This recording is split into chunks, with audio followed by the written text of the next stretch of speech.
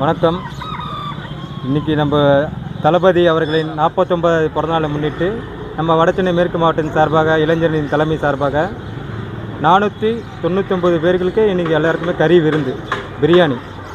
அது மட்டும் இல்லாமல் இன்றைக்கி பார்த்தீங்கன்னா இன்றைக்கி நம்ம குளத்தூர் தொகுதியில் காலையில் ஏழு மணிக்கு அம்மன் கோயில் அபிஷேகம் தளபதிக்காக ஏழரை மணிக்கு ஆதரவற்ற குழந்தைங்களுக்காக காலை உணவு. பதினோரு மணிக்கு பார்த்தீங்கன்னா நம்ம திருவிகா நகர் பஸ் ஸ்டாண்டு கோயிலில் குழந்தைங்களுக்கு நோட்டு புத்தகம் பென்சில் பாக்ஸு நோட்டு அதுக்கப்புறம் பார்த்தீங்கன்னா வாட்டர் பாட்டிலு சாக்லேட்டு பிஸ்கெட்டு எல்லாமே கொடுத்துருக்கோம். இதை முடிச்சுட்டு பார்த்தீங்கன்னா இன்றைக்கி இப்போ இந்த இடத்துல வந்து பார்த்திங்கன்னா நம்ம அறுபத்தாறாவது வட்டத்தில் பார்த்தீங்கன்னா நம்ம மேற்கு பகுதியை சார்ந்த மணிகண்டன் விக்னேஷ் பொன்ராஜ் அவங்க தலைமையில் பார்த்தீங்கன்னா ஐநூற்றி நாற்பத்தொம்பது பேருக்கு பிரியாணி. இதை தலைமையேற்று நடத்தி கொண்டு இருக்கோம் நம்ம கிழக்கு பகுதி நிர்வாகிகள் பார்த்திங்கன்னா கிழக்கு பகுதி தலைவர் தியாகு குபேந்திரன் ஹரீஷ் நாராயணன் மணி தினேஷ் வேணு ஷியாம் பாலாஜி பகுதி மற்றும் அணி நிர்வாகி எல்லாருமே வந்து கலந்துக்கினாங்க. ரொம்ப சந்தோஷமாக இருக்குது.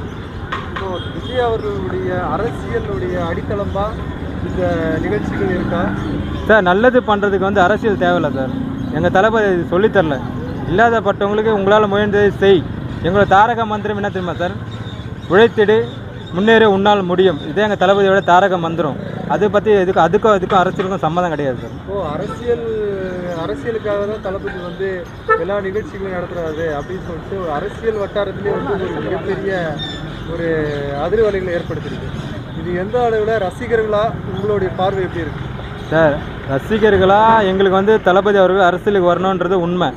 ஆனால் இப்போ நீ பண்ணுற நிகழ்ச்சிக்கும் இதுக்கும் அரசியலுக்கும் சம்பந்தம் கிடையாது. எங்கள் தபல் தளபதியோட உத்தரவுப்படி இல்லாதவங்களுக்கு இயன்றதை செய். இதே எங்கள் தளபதியோட தாரக மந்திரம். அதன்படி நாங்கள் நடந்து கொண்டு இருக்கோம் அவ்வளோதான் அரசியலுக்கு வந்தா தளபதிக்கு எந்த அளவுக்கு ரசிகர் ஆதரவு இருக்கும்? நூற்றுக்கு நூறு இருக்கும் சார். நடிகரா இல்லாம?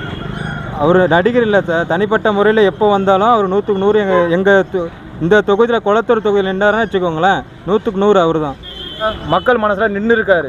அதுக்கு ரீசனா நடந்த கல்வி விருது வழங்கும் விழாவே ஒரு உண்மையில சாட்சி. சரிங்களா? எங்க தளபதிக்கு தொண்ணூத்தி ஒன்பது பர்சன்ட் நூறு சதவீதம் ஓட்டு கண்டிப்பா விழும். எங்க தளபதி தான் லீடிங்ல வருவாரு. லீடிங்ல வரது மட்டும் நல்ல ஆட்சி அமைப்பாரு. எதிர்கால தமிழகம் எங்க தளபதியின் கீழே தான் நடக்கும்.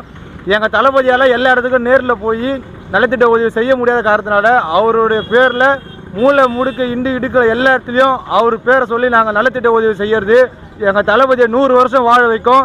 அவர் பேரை சொல்லி நாங்களும் நல்லா வாழுவோம். மக்களுக்காக நாங்கள் செய்ய நலத்திட்ட உதவி எங்கள் தளபதியின் பேரில் என்றைக்குமே தொடரும். தளபதி வாழ்க தமிழ் தளபதி மக்கள் இயக்கம் வாழ்க தளபதி தொண்டுகள் வாழ்க. தளபதி தளபதி புகழ் வாழ்க. இனிய பிறந்த வாழ்த்துக்கள். Thalapathy happy birthday Thalapathy!